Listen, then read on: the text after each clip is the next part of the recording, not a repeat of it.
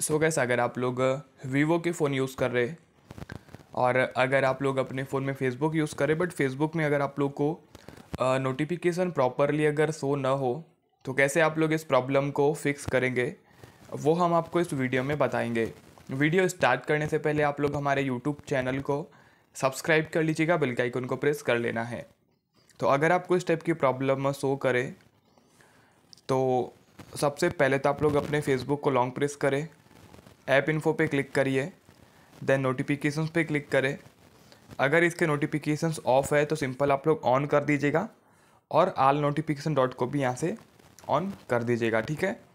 आ, और दूसरी बात कि आप लोग इसको प्ले स्टोर पर सर्च करें फेसबुक को। और इसमें कोई अपडेट अवेलेबल होगा तो सिंपल अपडेट भी हमें कर लेना होगा। अगर नोटिफिकेशन भी ऑन है फेसबुक भी अप टू डेट है, फिर भी अगर नोटिफिकेशन प्रॉपर अगर शो ना हो तो सिंपल आप लोग सेकंड सॉल्यूशन क्या है? आप अपने फ़ोन में सेटिंग्स ओपन करेंगे, उसके बाद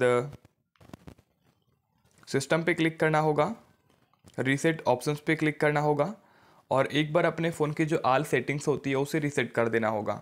इसमें जो भी गलत एक्टिविटी हुई होगी सब कुछ डिफ़ॉल्ट हो जाएगी देन हमारी प्रॉब्लम भी फिक्स हो जाएगी। तो सिंपल आप लोग को यह मेथड को यूज़ करना है। ठीक है? तो इस तरीके से आप लोग यह प्रॉब्लम को फिक्स कर सकते हैं। मिलते हैं नेक्स्ट वीडियो में। जय माता दी।